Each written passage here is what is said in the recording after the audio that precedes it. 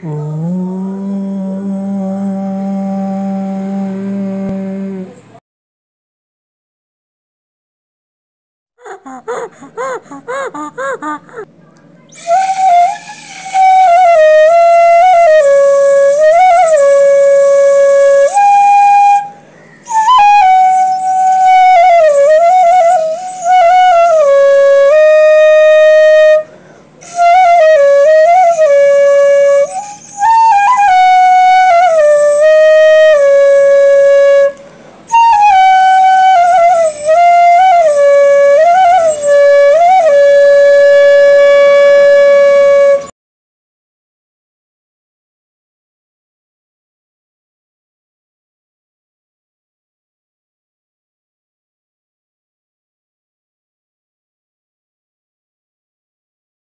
పరమాత్మ సమారంభం ఋషిగణ మధ్యమం సద్గురు పర్యంతం వందే గురు పరంపరం. ఆదేశ్. జై మహాకాల్.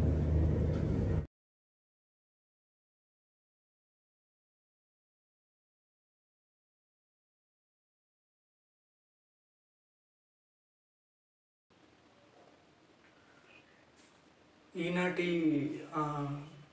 మన లైఫ్ మోటివేషనల్ అనేటువంటి కాన్సెప్ట్లో ఒక ముఖ్యమైనటువంటి విషయాన్ని మనం తెలుసుకునే ప్రయత్నం చేద్దాం.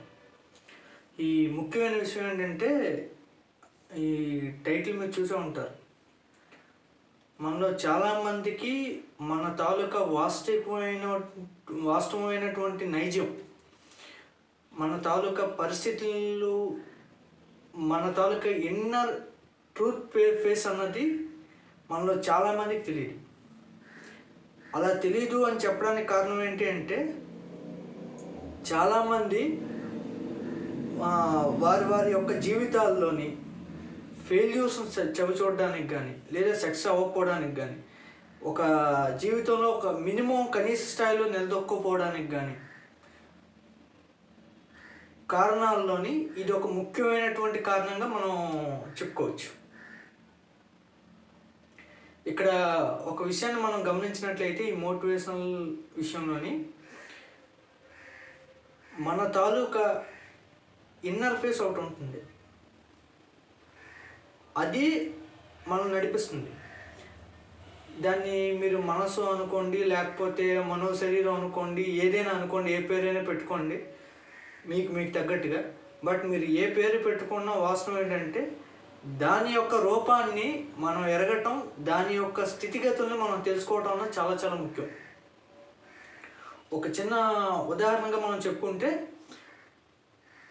మనలో చాలామందికి ఏ పనులు చేయగలుగుతాం అన్నది తెలియదు అందుకే మనకి చెప్తూ ఉంటారు. చిన్నప్పుడే మనం ఏం చేయగలమో తెలుసుకోవాలి. ఆ వి ఆ రంగంలోనే ఆ విధానాల్లోని మనం అడుగేసే విధంగా పిల్లల్ని మనం ప్రోత్సహించాలి. దాంట్లో మన పిల్లల్ని ముందుకి నడిపించగలగాలి. వాళ్ళు ఆయా రంగాల్లో బాగా అభివృద్ధిలోకి వస్తారని చెప్పి మనకు చాలాసార్లు మనం వింటూ ఉంటాం. అదే ఇప్పుడు మనం చెప్పుకోబోయేటువంటి విషయం. మన తాలూకా ఇన్నర్ ఇష్యూ ఏదైతే ఉందో మనం ఏది చేయగలమో మన తాలూకా థాట్ ప్రాసెస్ దేని మీద అయితే కాన్సన్ట్రేషన్గా నడుస్తుంది అన్న విషయాన్ని మనం తెలుసుకోవటం అన్నది చాలా చాలా ముఖ్యం అక్కడ. నేను మీకు ఒక చిన్న స్టోరీ కనుక మనం చూసుకున్నట్లయితే ఆ స్టోరీ మీలో చాలామందికి తెలుసు. ఒక గొర్రెల మంద ఉంది. సీప్ అంటాం కదా గొర్రెల మంద ఉంది. ఈ గొర్రెల మందని ఒక ఆ, గొర్రెల్ని పెంచుకునేటువంటి వ్యక్తులు మేపుతూ ఉన్నారు.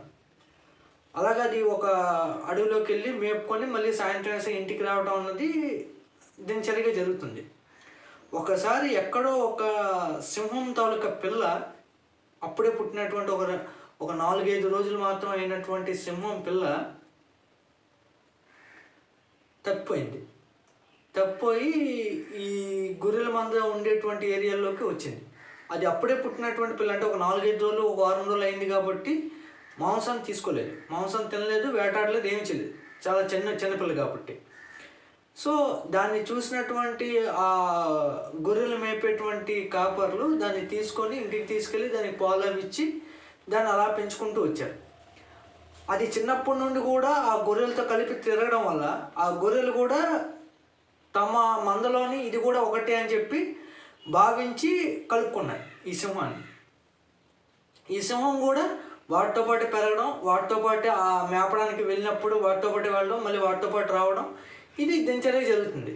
ఈ సింహం చిన్నదాని నుండి అలా పెరుక్కుంటూ పెద్ద అయింది అయినా సరే ఇది ఆ గొర్రెల మందుతోనే ఉండటం ఆ గొర్రె ఏవి తింటే అవి తినడం సాధారణంగా సింహం అన్నది ఎక్కడా కూడా మీకు గడి తిందు ఆ విషయం మనందరికీ తెలుసు. కానీ ఆ గొర్రెల గొర్రెలతోనే ఆకులు తినడం గడ్డి తినడం అవన్నీ ఎందుకు అంటే ఆరు నెలలు సావాసం చేస్తే వారు వీలవుతారంటాం.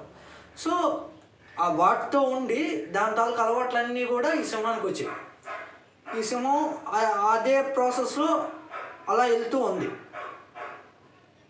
అలా వెళ్ళేటప్పుడు అక్కడ జరిగేటువంటి ఒక ముఖ్యమైనటువంటి కార్యం కనుక చూసుకున్నట్లయితే దీన్ని ఆ గొర్రెల మందుతో పాటు వెళ్ళటం రావటం గొర్రె మంద గొర్రెలు ఏం చేస్తే ఇది కూడా అలా చేయటం ఇవన్నీ కూడా జరుగుతూ వస్తుంది. ఒకసారి ఈ గొర్రెల మందులంతా కూడా అడవిలో ఉన్నప్పుడు అడవిలో తిరిగేటువంటి ఒక సింహం గొర్రెల మందు చూసింది. గొర్రెని చూసిన సింహం ఏం చేస్తుంది అన్న విషయం మనం అందరికీ తెలుసు. సో అలా మనకి ఈరోజు మంచి ఆహారం దొరికింది అని చెప్పేసి ఆ గర్జిస్తూ ఆ గొర్రెల మంద వైపు వెళ్ళడం మొదలుపెట్టింది సింహం. ఎప్పుడైతే గర్జిస్తూ వచ్చినటువంటి ఆ అడవి సింహాన్ని చూసే గొర్రెల మంద వెంటనే పారిపోవడం మొదలెట్టాయి. ఆ గొర్రెలతో పాటు ఆ గొర్రెలతో పెరిగినటువంటి సింహం కూడా పారిపోయింది. ఈ సింహం ఆ గొర్రెల మంద వైపు వస్తూ ఇవన్నీ పరిగెట్టడం చూసి షాక్ అయింది. ఆ అడవిలో ఉండేటువంటి సింహం. ఈ గొర్రెలతో పాటు ఈ సింహం కూడా పరిగెడుతుంది అన్న విషయం అర్థం కాలేదు. ఈ అడవిలో తిరిగేటువంటి సింహానికి. ఇది వీటిని చంపాలి కదా చంపి తినాలి కదా తినకుండా ఈ గొర్రెలతో పాటు ఇది కూడా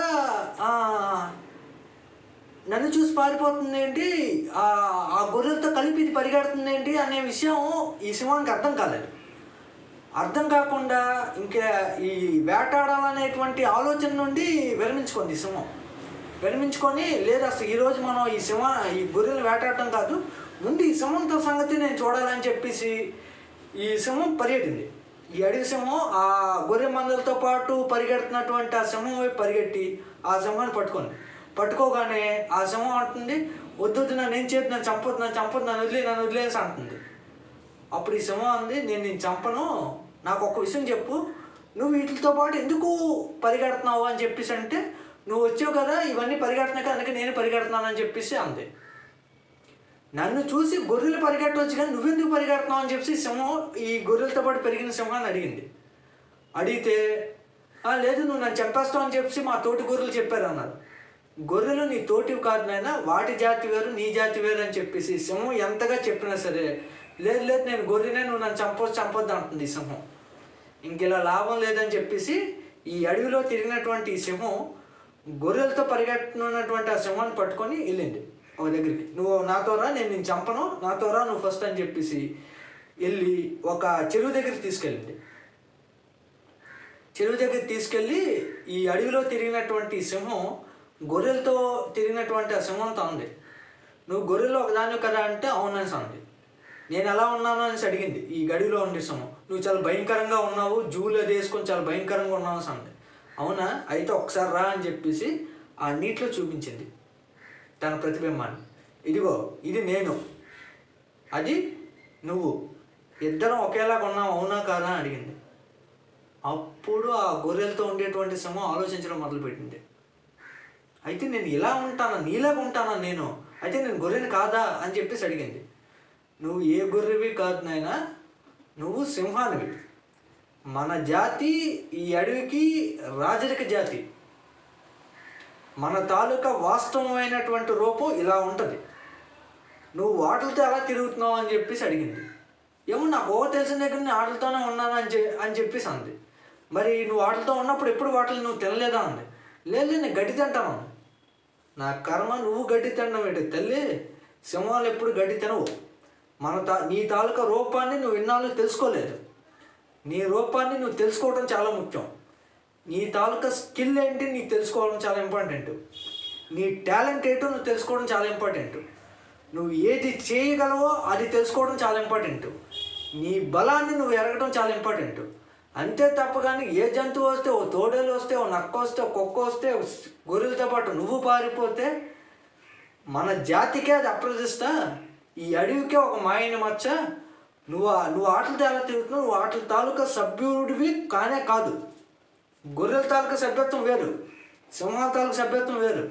సింహం ఎప్పటికీ గొర్రెల్లో ఒక మెంబర్ అవ్వలేదు. అవి నీకు ఆహారం. అంతే తప్ప కానీ అవి తినే గడ్డి నీకు ఆహారం కాదు. సో నీ బలాన్ని నీ వాస్తవమైనటువంటి రూపాన్ని చూడు. నువ్వు వేటాడడం నీకు తెలియాలి. వేటాడి నీ ఆహారం సంపాదించుకోవాలి. అంతే తప్ప కానీ నువ్వు ఆటపాటి గడ్డి తిని వెళ్ళి అవ- అవన్నీ కూడా ఒకరోజు ఆ మేప ఎవరైతే ఆ గొర్రెల్ని మేపుతున్నారో వాళ్ళకే ఆహారంగా మారిపోతాయి. వాళ్ళకే వేటగా మారిపోతాయి. అటువంటి జాతిలో నువ్వుండి నువ్వు చేసేదేముంది? నీ తాలూకా వ్యవహారం అది కానే కాదు అని చెప్పి ఈ అడవిలో తిరిగినటువంటి సింహం ఆ గొర్రెలతో తిరుగుతున్నటువంటి సింహానికి తన తాలూకా వాస్తవమైనటువంటి రూపాన్ని తన తాలూకా బలాన్ని తను తెలియజేసింది.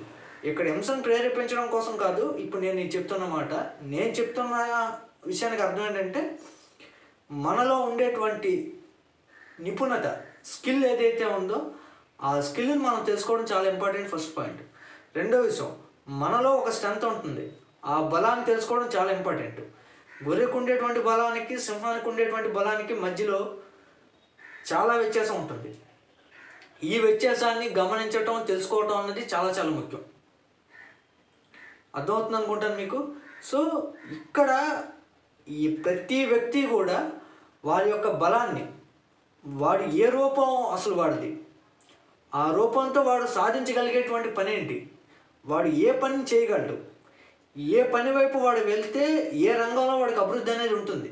ఈ విషయాన్ని తప్పనిసరిగా ప్రతి ఒక్కరు కూడా తెలుసుకొని తీరాలి. అలా తెలుసుకోలేని ప్రతి ఒక్కరు ఖచ్చితంగా ఏదో ఒక దగ్గర ఖచ్చితంగా పడిపోతారు. ఇలాగే వచ్చే ప్రతి చిన్న సమస్య కూడా చూసి పారిపోయి బెదిరిపోయి ఆ సమస్య నుండి దూరంగా వెళ్ళి సమస్య నుండి మనం దూరంగా వెళ్ళినంత వరకు ఆ సమస్యలు మనం వెంటాడుతూనే ఉంటాయి వేధిస్తూనే ఉంటాయి. మనం సమస్యకు ఎదురెదాలి ఏదైనా ఒక ప్రాబ్లం అనేది మన జీవితంలో వస్తే దాన్ని మనం ఫేస్ చేయడానికి ఎప్పుడైనా సిద్ధంగా ఉండాలి. దాన్ని సాల్వ్ చేసుకోగలిగేటువంటి బలం మనలో ఉందనేటువంటి మన వాస్తవికమైనటువంటి రూపాన్ని మనం తప్పనిసరిగా ఎరగాలి. ఎవరైతే ఈ విషయాన్ని ఎరగగలుగుతారో ఎవరైతే ఈ విషయాన్ని పసిగట్టగలుగుతారో వాళ్ళ కోసం వాళ్ళు వాళ్ళు తప్పనిసరిగా డెవలప్ అవుతారు. వాళ్ళు ఏ రంగంలో ఉన్నా విజేతలుగా నిలుస్తారు. వాళ్ళకి అగ్రతాంబూలం వాళ్ళకే సింహాసనం. ఒక వ్యక్తి డెవలప్ అవడానికి అదే వ్యక్తితో ఉండేటువంటి ఇంకో వ్యక్తి ఫెయిల్యూర్ అవడానికి మధ్యలో ఉండేటువంటి ఒక ముఖ్యమైనటువంటి వ్యత్యాసం వాళ్ళ యొక్క టాలెంట్ ఏంటి అన్నది వాళ్ళకి తెలుసు. ఎవరు డెవలప్ అయిన వాళ్ళకి. డెవలప్ కానివాడు వాడు ఏం చేయగలుగుతాడు అన్న విషయం వాడికి తెలియదు ఇది అర్థం చేసుకోక మనం వేరే ఆటల మీద నెడుతూ ఉంటాం. మా తల్లిదండ్రులు అప్పుడు సరిగ్గా చూడలేదు.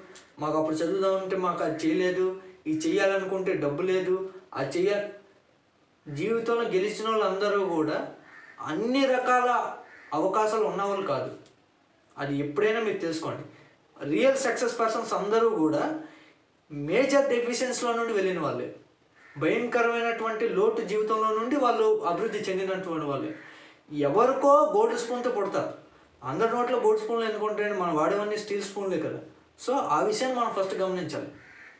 సో ఎప్పుడూ కూడా ఫలానా ఎదిగిన వాడికి ఏ అవకాశం ఉంది ఆ అవకాశంతో వాడు ఎదిగాడు అవకాశం లేకపోవడం వల్లే నేను పోయాను అని కనుక మనం ఆలోచిస్తే ఏ అవకాశం అయితే లేదు అని మనం బాధపడుతున్నామో అదే ఆలోచన మనకు వస్తుంది. ఎందుకంటే మనం ఆలోచించిన ఆలోచన మనకి ఏ అవకాశం లేదు మనకు ఉండేటువంటి బలహీనత ఏదో అదే ఆలోచిస్తున్నాం కాబట్టి మనకు వచ్చే ఆలోచన పరంపరలన్నీ అలాగే ఉంటాయి.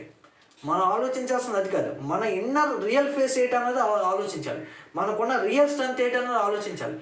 ఎప్పుడైతే మనం ఏది చేయగలమో ఏది సాధించగలమో అది ఆలోచిస్తే మనకు వచ్చేటువంటి ఆలోచనలన్నీ కూడా ఆ పరంపరలో వస్తాయి. నీ ఆలోచనలకి కర్తవు నువ్వే. నీ జీవితమో నీ పక్కింటోడు ఎదురింటోడు నీ తలకు పరిస్థితులు ఇవేవి కాదు. అది ఫస్ట్ గుర్తుపెట్టుకోండి. చేతగానే దద్దమ్మలు మాట్లాడేటువంటి మాట ఇది ఒక వ్యక్తి సక్సెస్ అవ్వాలి అంటే ఆ వ్యక్తి ఏది చేస్తే సక్సెస్ అవుతాడో అది ఆలోచించాలి.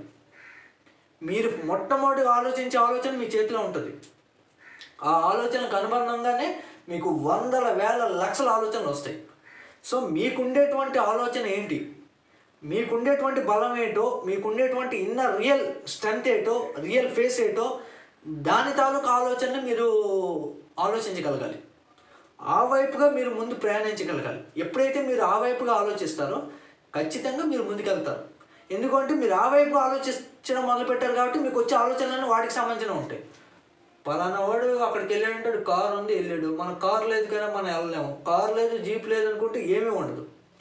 సో కారు జీప్ ఉన్నా లేకపోతే మీకు కాళ్ళు ఉన్నాయి. కాళ్ళు పోలియోతో ఉన్నా కనీసం ఆలోచించడానికి బుర్ర ఉంది. సెక్స్ అయిన వాళ్ళంతా మనం చూస్తుండగానే ఏదో ఒక లోపం ఉన్న వాళ్ళు మనం దాటుకుంటూ ముందుకెళ్ళిపోతూ ఉంటే మనం మాత్రం ఇక్కడే పడి పడిపోయి ఉంటున్నాం. దానికి కారణం ఎవరు? మనలో ఉండేటువంటి రియల్ స్ట్రెంగ్త్ మన తాలూకా వాస్తవమైనటువంటి రూపం మనకి తెలియకపోవడం. ముందు దాన్ని తెలుసుకోవాలి. మనం ఏది సాధించగలమో దాన్ని తెలుసుకోవాలి. ఆ సాధించే దిశగా మన ప్రయాణం అన్నది మనం ఎప్పుడూ చేస్తూ ఉండటం అన్నది చాలా చాలా అత్యంత ముఖ్యమైనటువంటి కీలకమైనటువంటి అంశం మనం అభివృద్ధి పొందడానికి. ఒకడు అభివృద్ధి పొందాడు అంటే వాడి గురించి వాడికి తెలుసు. ఒకడు ఫెయిల్యూర్ అయ్యాడంటే వాడి గురించి వాడికి తెలియదు మన గురించి మనకి తెలిసిన రోజుని మన తాలూకా అభివృద్ధిని కానీ మన తాలూకా జీవన ఉన్నతిని కానీ ఆపడం పరమేశ్వరు తరం కూడా కాదు. అది ఫస్ట్ గుర్తుపెట్టుకోండి. మన తాలూకా రూపం మన రూపం అంటే మన తాలూకా రియల్ స్ట్రెంత్ మనం ఏది చేయగలం అనేటువంటి విషయాన్ని మనం గమనించగలగాలి. ఒక్కొక్కసారి మనకి మనకి అది తెలుసుకోలేకపోవచ్చు. పరిస్థితులు తెలియజేస్తాయి. దాన్ని మనం అనాలిసిస్ చేయగలగాలి. కొందరు ఉంటారు ఉపాధ్యాయులు కావచ్చు గురువులు కావచ్చు లేదా మనకన్నా అనుభవం ఉండేటువంటి పెద్దలు కావచ్చు. ఒరే నాయన ఇది ఈ సంగతి ఒరే తల్లి ఇది. ఇలా ఉంటే ఇలా ఉంటుంది. నువ్వు ఇది చేయగలవు. ఇది ఒకసారి ఆలోచించు. ఈ విషయాన్ని మనకి ఎవరైనా గైడెన్స్ ఇచ్చినప్పుడు "ఆ, చెప్పారులే అని మనం అనుకుంటాం. అదే తప్పు. వాళ్ళు వా మన గురించి మనకి తెలియదు అప్పుడు. ఆ విషయం మనం తెలుసుకొని మనం అప్పుడు ఇంకా డెవలప్ అవ్వలేదు. సో వీళ్ళు మన గురించి చెప్తున్నారు అంటే ఏ ఆధారంతో చెప్తున్నారు? మనలో మనం చూడండి మనలో వాళ్ళు చూస్తుండొచ్చు. ఎందుకంటే ఏటోళ్ళు మీరు చూస్తున్నారు కదా. మిమ్మల్ని మీరు చూసుకొని ఉంటే అప్పుడే మీరు డెవలప్ అవుతారు. అది చూడటం మనిషి పక్కోడిని ఏటోళ్ళు మీరు చూస్తున్నారు కదా. అలాగే మిమ్మల్ని కూడా చూసేవాడు ఏటోడు ఒకడు ఉంటాడు. సో అలా వాళ్ళు చెప్పిన విషయాన్ని అయినా సరే ఒకసారి మనం మనంగా ఆలోచించగలిగితే ఏమో. అదే మన తాలూకా రియల్ స్ట్రెంత్ అన్న విషయం మనకు అర్థమయ్యి మనం ముందుకి ఎదగలుగుతాము మనం ఎందుకు అలా ఆలోచించకూడదు? సో ఎదుటి వాళ్ళు ఏమున్నాయి అవి మనకి ఏమి లేవు అనేటువంటి ఆలోచన మానుకొని మనలో ఏమున్నాయి మనలో ఉండేటువంటి విషయాలను ఉపయోగించుకొని ఆ రిసోర్సెస్ని ఆ సోర్సెస్ని ఉపయోగించుకొని మనం ముందుకు ఎలా వెళ్ళాలి అనేటువంటి అంశం మీద కనుక మనం కాస్త పరిశీలనగా కనుక మనం ఆలోచించగలిగితే ఆ వైపుగా మనం అడుగులు వేయగలిగితే definitely we can reach our destiny our goal fulfil our aim ఇది మన తాలూకా రియల్ స్ట్రెంత్ని రియల్ ఫేస్ని తెలుసుకొని ముందుకు వెళ్ళగలిగిన రోజుని మనం ఖచ్చితంగా డెవలప్ అవుతాం. ఇది వ్యవహారం. అర్థమైంది అనుకుంటాను thank you all the best ఆత్మ నమస్కారం.